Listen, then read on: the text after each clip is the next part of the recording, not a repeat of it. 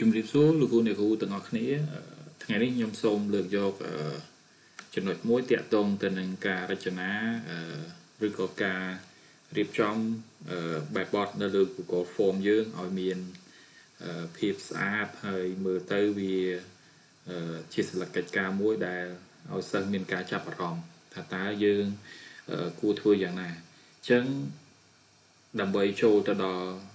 ការរចនានៅលើ Google Form ឬក៏យើងហៅថាការបើកសិលឹកកិច្ចការដំបូងតើយើងគួរធ្វើយ៉ាងម៉េចដើម្បីឲ្យការរៀប Google Form ផងយើងបានស្អាតអញ្ចឹងលោកគ្រូអ្នកគ្រូចាប់ផ្ដើមចូលទាំងអស់គ្នាទៅកាន់កន្លែងមួយគឺយើងចូលទៅកាន់កម្មវិធីមួយដែលហៅថា Google Chrome នេះអញ្ចឹងខ្ញុំคลิกទៅលើពាក្យ Google Chrome នៅត្រង់នេះ cursor ខ្ញុំនេះ ចឹងនៅពេលដែល click មកគឺវាបានពាក្យ Google នេះហើយនៅក្នុងនេះមាន meet មានអីខ្ញុំអត់តន់និយាយទេចឹងយើងលោកគ្រូអ្នកគ្រូត្រូវចូលទៅកន្លែង app ផនវាមានន័យថា app ផន Google Drive ឬក៏ Google App នេះចឹងលោកគ្រូអ្នកគ្រូ click ទៅកន្លែងពាក្យ Google App ហ្នឹង click មកបន្ទាប់មកលោកគ្រូអ្នកគ្រូអត់តន់ឃើញពាក្យ form ទេយើងអស់មករពាក្យ form នៅខាងក្រោមនេះអឺ មករកពាក្យ form តោះមកខ្ញុំ click លើពាក្យ form ហ្នឹងអឺចឹងនៅពេលដែល click នៅលើពាក្យ form ហ្នឹងយើងឃើញមានទម្រង់នេះផ្សេងផ្សេងគ្នាមានន័យថាទម្រង់ទាំងអស់នេះគឺជាទម្រង់ដែល Google Form ឲ្យមកយើងនេះមានន័យថាមានច្រើនបែបច្រើនបទហ្នឹងអញ្ចឹងយើងចាប់ផ្ដើមមើលប៉ុន្តែយើងយើងចង់រចនាដោយខ្លួនយើងអញ្ចឹងខ្ញុំយកពាក្យកន្លែង blank នេះ blank ចឹងមានថា blank ហ្នឹងគឺវាចេញមកវាស្អាតអត់ទាន់មានរចនាអីទាំងអស់ក្បាលលើក៏អត់ទាន់មានដែរអញ្ចឹងខ្ញុំคลิกលើ blank ហ្នឹងមកតបមកបានប៉ុណ្នេះបានប៉ុណ្នេះបានប៉ុណ្ណឹងយើងចាប់ផ្ដើមមើលខាងនេះវាមានអឺ untitled form មានន័យថាទម្រង់ផងយើងអត់ទាន់ដាក់ចំណងជើងទេអញ្ចឹងយើងចង់ដាក់ចំណងជើងអីគេខ្ញុំដាក់ថាតេសាលបងចោះណាអញ្ចឹងខ្ញុំវាយពាក្យ តេសាលបងណាតេសាលបងអញ្ចឹងខ្ញុំមកនេះមកមានពាក្យតេសាលបងទៅមកក៏យើងចង់ហ្នឹងយើងដាក់អីគេអឺតេសាលបងអំពីការបង្កើត Google Form ឲ្យសេចក្ដីនេះគឺ form description នេះថាការពណ៌នាផងយើងឲ្យសិស្សបានឃើញនៅពេលដែលគាត់ចូលទៅមើលដំបូងហ្នឹងគាត់ឃើញអីគេអញ្ចឹងយើងអាចដាក់ថាអឺ សួស្តីបងប្អូននិយាយទៅនេះគាត់តែជាឧទាហរណ៍ទេអឺសួស្តីហើយដាក់មិនចាស់បន្តមកទៀតអឺអត់តនិយាយដល់សំណួរទេ គឺការនិយាយពីអឺការរចនានៅលើក្បាលលើសិនថាតើធ្វើម៉េចដើម្បីឲ្យវាស្អាតអញ្ចឹងតកតងទៅនឹងការរចនានៅលើខាងលើនេះវាតកតងទៅនឹង icon នេះគេហៅថា customizer កន្លែងនេះគឺមានពាក្យ preview ហើយកន្លែងនេះគឺមានពាក្យ setting អញ្ចឹងខ្ញុំនឹងបញ្យល់3ហ្នឹងហើយ set នេះយើងចាំដល់មេរៀនដែលគ្រូគាត់ព្រៀនបន្តគាត់នឹងបញ្យល់ថាតើ set ហ្នឹងដើម្បីធ្វើអីគេណាធ្វើអីគេចឹងកន្លែងនេះគឺពាក្យ customization មានន័យថាយើងអាចដាក់រូបភាពយើងអាចដាក់ពណ៌នៅលើក្បាលទំព័រនៃ Google Form ផងយើងបានអញ្ចឹងលោកគ្រូអ្នកគ្រូចង់បានគឺ click ទៅលើកន្លែងពាក្យហ្នឹងឬក៏និមិត្តសញ្ញាមួយនឹងមកនេះចឹងវា load មកនេះមានណាមាន header header គេឲ្យយើង choose image ហើយមានពាក្យ sim color មានន័យថាពណ៌នៅជុំវិញអឺរូបភាពផងយើងហ្នឹងចង់បានពណ៌អីហើយខាងក្រោមនេះគឺពណ៌ផង background ហើយខាងក្រោមនេះគឺជា style នៃពុំអសរដែលយើងត្រូវទៅសេប៉ុន្តែវាតកតងទៅនឹង អក្សរជាភាសាលតាំងឬមួយក៏អក្សរអង់គ្លេសទេអញ្ចឹងខ្ញុំចាប់ផ្ដើមជ្រើសរើសយករូបភាព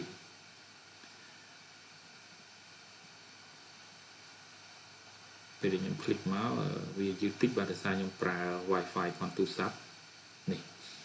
ចឹងវាលោតមកនេះចឹងខាងនេះគឺជារូបភាពដែលយើងអាចដាក់នៅលើក្បាលទំព័របាទទំព័រនៃស្លឹកកិច្ចការ ផន Google Form យើងនឹងបានអញ្ចឹងលោកគ្រូអ្នកគ្រូចង់រើសយករូបភាពណាមួយមកក៏បានដែរឧទាហរណ៍ថាឥឡូវខ្ញុំយករូបភាពអឺសភៅឬមួយក៏សភៅមានកាហ្វេនេះចាត់ទុកថាយើងកំពុងធ្វើការអញ្ចឹងទៅហើយខ្ញុំចុចពី insert នេះអញ្ចឹងវា load មកនេះមានន័យថាក្បាលលើរបស់យើងគឺបានតម្រង់ប៉ុណ្ណឹងណាបានតម្រង់ប៉ុណ្ណឹងបន្តមកទៀត background វានេះមានន័យថាអា sum color វានេះសុំវាគឺមានពណ៌រៀងជាអញ្ចឹងខ្ញុំចង់ដូរមកពណ៌នេះវិញណាដូរមកពណ៌នេះវិញនេះគឺដូរមកពណ៌ហ្នឹងដូរមកពណ៌ហ្នឹងវិញបន្ទាប់មកទៀតកន្លែង background background ឃើញពណ៌នេះរៀងស្រាលអញ្ចឹងខ្ញុំដៃចាស់តិចមកនេះបានចេះបន្ទាប់មកទៀតក្រោយពីបានប៉ុណ្ណឹងយើងចង់ដឹងថាតើផនយើងស្អាតនៅលោកគ្រូអ្នកគ្រូចូលទៅកន្លែងពាក្យ preview នេះឬក៏រូបនិមិត្តសញ្ញាភ្នែកនេះអញ្ចឹងលោកគ្រូអ្នកគ្រូឃើញនេះអញ្ចឹងអានេះគឺជាតេស្តផនយើងអញ្ចឹងអានេះក្បាលលើអានេះចំណងជើងតេស្តហើយអានេះចាប់ដើមមកសំណួរហើយខាងក្រោយនេះគឺជា background អឺពណ៌ background យើងអញ្ចឹងយើងអាចដូរពណ៌ background បានណាពណ៌ background បាន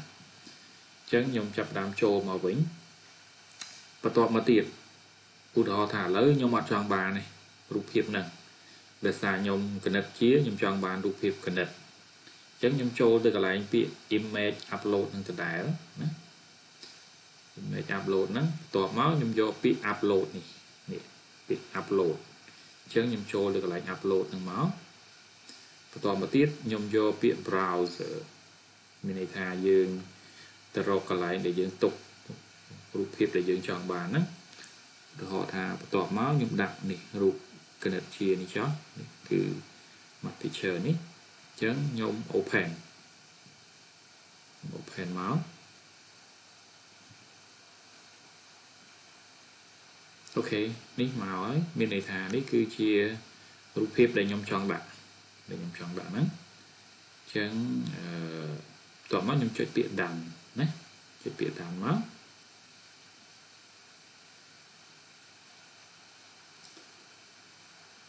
អូខេនេះអញ្ចឹងមានន័យថាអឺ ក្បាលលើសន្លឹកកិច្ចការរបស់ខ្ញុំខ្ញុំបានដូរហើយខ្ញុំដូរមកទៅជា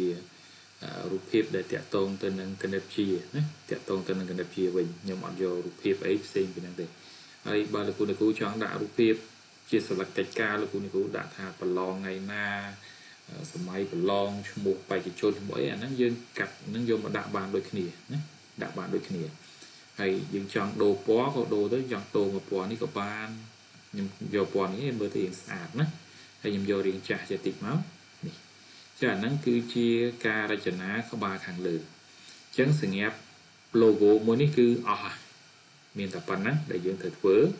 ហើយ logo មួយនេះគឺយើងសញ្ញាប់មើលមានន័យថាមើលទៅលើការរចនាផនយើងថាតើវាស័ក្តិសមនៅប៉ុណ្ណឹងអញ្ចឹងបើយើងគិតថាប៉ុណ្ណឹងសមហើយយើងយកប៉ុណ្ណឹងយកប៉ុណ្ណឹងបន្ទាប់មកទៀត ខ្ញុំចាប់ផ្ដើមទៅចំណុចបន្ទាប់នេះនៅបន្ទាប់មកទៀតគឺពាក្យ setting អញ្ចឹងខ្ញុំចូលទៅកន្លែង setting ហ្នឹងហើយនេះបានចូលទៅ setting ព្រោះយើងចូលមកដល់កន្លែងនេះគឺចាប់ផ្ដើមសំណួរចាប់ផ្ដើមសំណួរអញ្ចឹងនៅពេលដែលយើងចាប់ផ្ដើមសំណួរយើងមើលមកលើសំណួរហ្នឹងនេះអត់មានបន្ទុកសោះអញ្ចឹងអត់មានបន្ទុកទេអញ្ចឹងបើអត់បន្ទុកសួរតើតើយើងត្រូវធ្វើម៉េចត្រូវធ្វើម៉េច ចឹងឧទាហរណ៍ថាឥឡូវខ្ញុំបង្កើតសំណួរមួយខ្ញុំដាក់ថាខ្ញុំគ្រាន់តែសេសំណួរអឺសំណួរតោះមកនេះខ្ញុំដាក់ចម្លើយណាអឺចម្លើយមួយ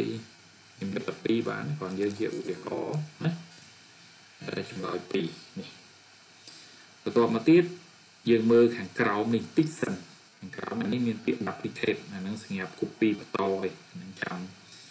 បន្តក្រោយទៀតបន្ទាប់មកនេះមានពាក្យថា require require នេះ require នេះគឺគេតម្រូវឲ្យយើងធ្វើអីមួយ មានន័យថាបើគេបើក require នេះមានន័យថាលោកគ្រូអ្នកគ្រូត្រូវឲ្យសិស្សហ្នឹងដាច់ខាត់ត្រូវតែឆ្លើយសំណួរហ្នឹងហើយបើសិស្សនឹងអត់ឆ្លើយសំណួរហ្នឹងគឺអត់អាច submit បានទេ អត់អាច submit បានទេអញ្ចឹងសិស្សដាច់ខាតត្រូវតែឆ្លើយសំណួរហ្នឹងបានអាច submit បានបើអត់ឆ្លើយសំណួរគឺ submit អត់បានអញ្ចឹងត្រង់កន្លែងហ្នឹងសំខាន់ដែរ require ហ្នឹងចឹងលោកគ្រូអ្នកគ្រូចង់ឲ្យកន្លែងណាដែលគាត់ត្រូវធ្វើហើយបើគាត់អត់ធ្វើកន្លែងហ្នឹងគឺធ្វើអត់បានផ្ញើទៅយើងអត់បានចឹងយើងប្រើមានន័យថាបើកកន្លែង require ហ្នឹងមកណា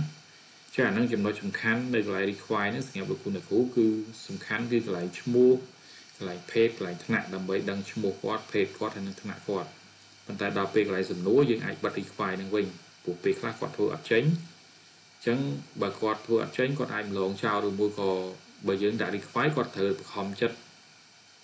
អឺព្រាវដាក់ព្រាវចឹងលោកគ្រូលោកគ្រូអាចបិទកន្លែងហ្នឹងវិញកន្លែងសំណួរណាដែលលោកគ្រូលោកគ្រូត្រូវបើក require ហ្នឹងឲ្យគាត់ឆ្លើយដាច់ខាតត្រូវបើកកន្លែងហ្នឹងសំណួរណាដែលអត់ត្រូវឲ្យគាត់ឆ្លើយដាច់ខាតទេយើងអាចបិទកន្លែងហ្នឹងវិញណា អញ្ចឹងមានថាបើវាសញ្ញាមកខាងនេះវាបិទបើសញ្ញាទៅខាងនេះវាវាបើកនេះមកខាងនេះបើកមានថាដាច់ខាតត្រូវតែឆ្លើយសំណួរហ្នឹងបើអត់ឆ្លើយទេអត់បានទេណាអញ្ចឹងខ្ញុំសូមបិទវិញត្រង់ហ្នឹងត្រង់ហ្នឹងគឺជាចំណុចរបស់ re require ហ្នឹងតមកទៀតនេះខ្ញុំមានសំណួរហើយខ្ញុំមានចម្លើយប៉ុន្តែអត់ទាន់មានបន្ទុកទេអញ្ចឹងសួរតើដើម្បីដាក់បន្ទុកយើងចូលទៅត្រង់ណាអញ្ចឹងដើម្បីដាក់បន្ទុកយើងចូលទៅកន្លែង setting នេះកន្លែង setting អញ្ចឹងនៅកន្លែង setting នេះមានន័យថាគឺជាការបង្កើតហើយនឹងកំណត់ទៅលើ form ផងយើងហ្នឹងថាតើយើងបង្កើតវាយ៉ាងម៉េច form ហ្នឹងយើងចង់បានវាយ៉ាងម៉េចឲ្យវាធ្វើទៅយ៉ាងម៉េចវិញអញ្ចឹងយើងនៅលើពាក្យ setting ហ្នឹងឯង setting មានការកំណត់ទៅលើមុខងារអីផ្សេងផ្សេងនៅក្នុងហ្នឹងអញ្ចឹងមានពាក្យថា general general នេះគឺជាការកំណត់លក្ខខណ្ឌទូទៅ បន្ទាប់មកទៀតមានពាក្យ presentation presentation មានថាការបង្ហាញផងយើងទៅឲ្យសិស្សតើបង្ហាញរបៀបម៉េចអីយ៉ាងម៉េចណាហើយមួយទៀតគឺមានពាក្យ quiz នេះអញ្ចឹងអាកន្លែង quiz ហ្នឹងកាលណានិយាយពី quiz និយាយពីសំណួរអញ្ចឹងបើនិយាយពីសំណួរដែលខាត់ត្រូវតែមានប៉ុនបន្ទុកអញ្ចឹងខ្ញុំសូមមកកន្លែង general នេះសិនទៅមួយមួយសិនអញ្ចឹង general ហ្នឹងមានន័យថាគឺជាការកំណត់លក្ខខណ្ឌទូទៅអញ្ចឹងខាងលើនេះគឺពាក្យ collect mail មានន័យថាការយើងផ្ញើយើងជ្រើសរើស email ហើយយើងផ្ញើទៅគាត់ link ហ្នឹងអញ្ចឹងមានន័យថាអ្នកដែលមាន email ហ្នឹងបានអាចធ្វើបានដែលយើង collect ហ្នឹងបើក្រៅពីហ្នឹងគឺធ្វើអត់បានទេហើយខាងក្រោមនេះគឺពាក្យ limit to one response មានន័យថាបើកឲ្យសិស្សតែម្នាក់គឺធ្វើបានតែម្ដងមានន័យថាអឺម្នាក់អាចចូលឆ្លើយសំណួរនឹងបានតែម្ដងឯនៅពេលដែលគាត់ submit ហើយគឺធ្វើឡើងបានទៀតឯង ប៉ុន្តែអាហ្នឹងសម្រាប់តែគាត់ប្រើលើ device មួយ មានន័យថាប្រើទៅលើអឺអាស័យដ្ឋាន email គាត់តែមួយឯងប៉ុន្តែបើគាត់មាន email គាត់5អញ្ចឹងគាត់អាចធ្វើម្ដងហើយគាត់ចូលទៅធ្វើម្ដងទៀត email មួយទៀតយក email មួយទៀតមកធ្វើហើយគាត់យក email ផងគាត់មួយទៀតមកធ្វើទៀតបានអាហ្នឹងអញ្ចឹងមានថាការកំណត់ limit to one response នេះមានន័យថាអាចចូលធ្វើបានម្ដងសម្រាប់អាស័យដ្ឋាន email មួយអញ្ចឹងបើគាត់មាន email 5គាត់ចង់ចូលធ្វើ5ដងគឺបានប៉ុន្តែយើងដឹងថាអ្នកហ្នឹងចូលធ្វើ5ដងព្រោះវានឹង response ទៅផងយើងបន្ទាប់មកទៀតខាងក្រោមនេះគឺជាការកំណត់ថាតើអ្នកដែលចូលរួមធ្វើតេស្តហ្នឹងអាចធ្វើអីបានខ្លះចឹងបើសិនបើត្រង់នេះយើងអាចមានន័យថា edit after submit មានថាគាត់អាចកែចម្លើយនៅពេលដែលគាត់ submit ហើយនៅពេលដែលគាត់ ផ្ដល់ចម្លើយឲ្យយើងហើយគាត់អាចកែឡើងវិញបានហ្នឹងនៅពេលដែលយើង tick tick នេះអញ្ចឹងយើងអាចឲ្យគាត់កែបានអញ្ចឹងយើងបិទវាបន្ទាប់មកឲ្យគាត់មើលឃើញតារាងមានន័យតារាងដែលគាត់តារាងសង្ខេបដែលគាត់ធ្វើទៅលើតេស្តរបស់គាត់ហ្នឹងហើយនឹងអត្ថបទដែលគាត់អាចសរសេរឲ្យយើងហ្នឹងឲ្យគាត់មើលឃើញអញ្ចឹងត្រង់ហ្នឹងដូចដូចជាមិនចាំបាច់បើកឲ្យគាត់ឃើញឬមួយក៏បើកឲ្យគាត់ឃើញក៏បានដែរ set លើលោកគ្រូអ្នកគ្រូប៉ុន្តែខ្ញុំសម្រាប់ខ្ញុំខ្ញុំបិទទាំងអស់អត់ឲ្យឃើញទេអញ្ចឹងសម្រាប់ general នេះគឺចប់មួយបន្ទាប់មកខ្ញុំចូលទៅពាក្យ presentation អញ្ចឹង presentation នេះមានន័យថាអានេះ show progress bar មានន័យថាការបង្ហាញទៅលើតែរបាមួយមួយឯងអត់បង្ហាញទូទៅទេបន្ទាប់មកទៀតអឺខ្ញុំយកពាក្យ Safford equation order មានន័យថាត្រង់ហ្នឹងគឺជាកន្លែងដែលយើងអឺបើខ្មែរយើងគេហៅថាច្បល់ច្បល់សំណួរមានន័យថាសំណួរអត់ទៅតាមលំដាប់ទេអញ្ចឹងបើអ្នកទី1ឃើញសំណួរទី1ទី2ទី3អញ្ចឹងអ្នកទី2អាចឃើញសំណួរទី5ទី1ទី4ទី3អីចឹងមកអ្នកទី3អាចឃើញសំណួរទី10ទី9ទី1អីវិញទៅអញ្ចឹងវាអត់ដូចគ្នាទេលំដាប់នៃសំណួរគឺខុសខុសគ្នា ហើយខាងក្រោមនេះមាន so link to submit another response មានថាបើយើង click កន្លែងហ្នឹងមានថាគាត់ submit ឲ្យយើងហើយគាត់អាចចូលទៅធ្វើ link មួយទៀតបាន link មួយទៀតបានហ្នឹងគាត់អាចធ្វើទៅលើសំណួរណាមួយទៀតបានផ្សេងទៀតអញ្ចឹងមានន័យថាឲ្យគាត់ធ្វើទៅលើ link ណាមួយផ្សេងទៀតបានតមកទៀតកន្លែងនេះគឺពាក្យ confirmation message ចឹងកន្លែងហ្នឹងគឺជាការផ្ដល់ព័ត៌មានទៅឲ្យគាត់វិញចឹងផ្ដល់ព័ត៌មានមិននៅពេលដែលគាត់ធ្វើហើយយើងប្រាប់ថាសូមអរគុណសម្រាប់ការផ្ដល់ចម្លើយអញ្ចឹងមកឬមួយក៏ចម្លើយរបស់អ្នកត្រូវបានបញ្ជូនរួចរាល់ហើយត្រង់ហ្នឹងអញ្ចឹងយើងអាចដាក់ថាចម្លើយរបស់អ្នក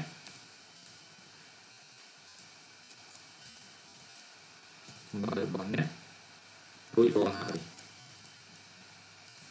រួចរាល់ហើយណានេះចម្លើយរបស់អ្នករួចរាល់ហើយតោះមកកន្លែង district នេះមានន័យថាយើងអត់បិទទេគណៈបិទអត់ឃើញទេអត់ឃើញទេតែធ្វើអស់ហ្នឹងមិនได้អត់ចូលមកកន្លែងយើងទេអញ្ចឹងយើងចុចទៅលើអឺសញ្ញា presentation នេះគឺយើងចប់ប៉ុណ្ណឹងបន្ទាប់មកបានយើងចូលទៅដល់ពាក្យ quiz នេះ quiz អញ្ចឹងកាលណានិយាយពី quiz គឺនិយាយពីសំណួរ បើនិយាយពីសំណួរតែខាតត្រូវតែមានបន្ទុកមានអីឲ្យគេហើយអញ្ចឹងត្រង់កន្លែងនេះបើយើងដាក់នៅអញ្ចឹងមានថា quiz យើងអត់ទាន់បើកឲ្យសិស្សធ្វើទេអញ្ចឹងខ្ញុំចាប់ផ្ដើមបើក quiz នេះអញ្ចឹងខ្ញុំបើកហើយអញ្ចឹងមានថាដល់ពេលដែលខ្ញុំបើក quiz មកនេះគឺអឺ quiz option នេះមានន័យថាជំរើសនៃការបង្កើតសំណួរផងយើង chứ អានេះគឺការបង្ហាញនៅ ការផ្ដល់ចម្លើយភ្លាមភ្លាមបន្ទាប់មកនេះគឺ response មានន័យថាអឺអាចឲ្យគាត់ឃើញកន្លែងសំណួរដែលគាត់អត់បានធ្វើអាចបង្ហាញគាត់នៅសំណួរដែលត្រឹមត្រូវហើយអាចបង្ហាញគាត់នៅបន្ទុកដែលគាត់មានណានៅបន្ទុកដែលគាត់មានអញ្ចឹងអាហ្នឹងគឺជាការកំណត់នៅក្នុង quiz អញ្ចឹងខ្ញុំអត់បង្ហាញដែរមានថាអត់បង្ហាញបន្ទុក អត់បង្ហាញចម្លើយណាដែលត្រឹមត្រូវហើយក៏អត់បង្ហាញខាងលើអត់បង្ហាញសំណួរដែលគាត់បានធ្វើទេហើយអត់បង្ហាញចម្លើយណាដែលត្រឹមត្រូវទេហើយក៏អត់បង្ហាញបន្ទុកឲ្យគាត់ឃើញដែរអញ្ចឹងគាត់ submit មកគាត់នឹងឃើញតែពាក្យអរគុណអ្នកដែលបានផ្ញើសំណួររួចរាល់ហើយដែលខ្ញុំសរសេរខាងលើមិញហ្នឹងអញ្ចឹងអស់ហើយមានន័យថា general ក៏យើងបានពេញហើយ presentation ក៏យើងបានពេញហើយ quiz ក៏យើងបានពេញ ពេញហើយអញ្ចឹងចុចទៅលើពាក្យ save អូខេចុចពាក្យ save ភ្លាមមានន័យថាការមុនមិញយើងអត់តឃើញកន្លែងបន្ទុកហើយនឹង answer key ទេអញ្ចឹងឥឡូវវាមានពាក្យ answer key ហើយនឹងបន្ទុកអញ្ចឹងខ្ញុំចុចទៅលើពាក្យ answer key នេះ answer key វាលោតបន្ទុកមកកន្លែងនេះអញ្ចឹងយើងឲ្យប្រហែលឧទាហរណ៍ថាឥឡូវខ្ញុំឲ្យ5បន្ទុកអូខេឲ្យ5បន្ទុកហើយចម្លើយសំណួរហ្នឹងចម្លើយទី1ឬមួយចម្លើយទី2ដែលត្រឹមត្រូវអញ្ចឹងខ្ញុំថាចម្លើយទី1ត្រឹមត្រូវអូខេអញ្ចឹងខ្ញុំคลิกកន្លែងចម្លើយទី1នេះអញ្ចឹងមានន័យថាអឺសំណួរផងយើងត្រូវបានបង្កើតរួចរាល់អស់ហើយមានគ្រប់ជ្រុងជ្រោយអស់ហើយមានថាមានសំណួរមានចម្លើយដាក់បន្ទុកហើយហើយកំណត់ចម្លើយណាដែលត្រឹមត្រឹមត្រូវហើយអញ្ចឹងយកពាក្យដានមានន័យថារួចរាល់អូខេអញ្ចឹងបានចម្លើយនឹងមកនេះហ្នឹងនេះគឺដានអញ្ចឹងមានន័យថាចម្លើយផងយើងគឺយើងបានមកហើយអឺ សញ្ញាប់យើងយើងឃើញនេះមានន័យថាចម្លើយទី1គឺជាចម្លើយត្រឹមត្រូវដែលយើងកំណត់មកហ្នឹងហើយអ្នកដែលឆ្លើយនៅចម្លើយទី1ហ្នឹងគឺបានបន្ទុក5បានបន្ទុក5អញ្ចឹងយើងចាប់ផ្ដើមចូលទៅមើលមើលថាតើអ្នកដែលធ្វើសំណួរយើងហ្នឹងចូលធ្វើសំណួរហ្នឹងគឺឃើញចម្លើយដូចយើងអត់អញ្ចឹងនេះយើងមើលមកស្អាតចេះអត់មានឃើញទេអត់មានឃើញទេអញ្ចឹងមានន័យថាគាត់ចាប់ផ្ដើមមើលសំណួរហើយគាត់ចាប់ផ្ដើមឆ្លើយនៅចំ ចម្លើយហ្នឹងគឺជារបៀបនៃការតាក់តែង form ផងយើងឲ្យមានរបៀបហើយការកំណត់នៅបន្ទុកការកំណត់នៅក្បាលលើផន form យើងឲ្យឲ្យស្អាតណាឲ្យស្អាតហើយនេះខ្ញុំចុចពាក្យ submit មកហើយវាអូខេតើនេះមានន័យថាផ្ញើសារមកយើងវិញមានន័យថាចម្លើយរបស់អ្នក រួចរាល់ហើយអញ្ចឹងយើងអាច view accuracy មានន័យថាមើលទៅលើលទ្ធផលដែលយើងបានផ្ញើទៅហ្នឹងនេះគេឲ្យមកណាមានន័យថាយើងឆ្លើយសំណួរហ្នឹងយើងយកចម្លើយទី1ប៉ុន្តែគេអត់ប្រាប់យើងថាតើចម្លើយនឹងខុសឬមួយក៏ឬមួយក៏ត្រូវទេហ្នឹងណាអត់ប្រាប់យើងថាតើចម្លើយនឹងខុសឬមួយក៏ក៏ត្រូវទេប៉ុន្តែបើសិនបើខ្ញុំបើកកន្លែងនេះវិញខ្ញុំបើកកន្លែងនេះ មានន័យថាខ្ញុំចូលមកបើកកន្លែង setting នឹងវិញហើយខ្ញុំយកកន្លែង quiz នេះ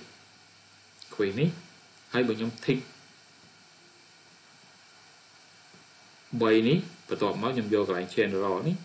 ខ្ញុំយកកន្លែង edit after submit OK បន្ទាប់មកខ្ញុំ save អញ្ចឹងចាំមើលថាតើវាប្លែកពីអាយ៉ាងមុនខាងមុនយ៉ាងម៉េចអញ្ចឹងខ្ញុំចូលមកនេះអូខេ you can fill out this only form អូខេ មានន័យថាចម្លើយហ្នឹងខ្ញុំបានធ្វើម្ដងហើយអញ្ចឹងខ្ញុំអាចចូលធ្វើម្ដងទៀតទេប៉ុន្តែបើខ្ញុំប្រើ Gmail មួយទៀតគឺខ្ញុំអាចធ្វើបានសម្រាប់ form មួយហ្នឹងណាសម្រាប់ form មួយហ្នឹងចឹងទាំងអស់នេះគឺជាការរចនានៅខាងលើ ក្បាលទំព័រយើងនេះថាតើយើងអឺអឺរចនាយ៉ាងម៉េចដើម្បីឲ្យវាតាក់ទាញហើយអឺ ធ្វើម៉េចដើម្បីកំណត់ទៅលើបន្ទុកសម្រាប់ចម្លើយមួយមួយរបស់របស់យើងហ្នឹងអញ្ចឹងថ្ងៃនេះខ្ញុំសូមណែនាំតែប៉ុណ្្នឹងទេតកតងទៅនឹងការរចនាក្បាលលើនៅក្នុង Google Form ការដាក់បន្ទុកការដាក់អីហើយសម្រាប់ការផ្ញើ link ទៅឲ្យសិស្សនិងចាំយើងបន្តទៀតនៅពេលក្រោយអរគុណច្រើនសម្រាប់លោកគ្រូអ្នកគ្រូដែលបានចូលរួមសហការទាំងអស់គ្នានៅក្នុងការបដិបដាហើយប្រឹងប្រែងក្នុងការអភិវឌ្ឍធ្វើម៉េចឲ្យសាលាយើងដើរតាន់ សម័យ digital នេះឬក៏យើងហៅថាសកលភាវូពាណិជ្ជកម្ម4ចុចនេះអញ្ចឹងអរគុណលោកគ្រូអ្នកគ្រូច្រើន សង្ឃឹមជួបគ្នានៅវីដេអូក្រោយទៀតអរគុណ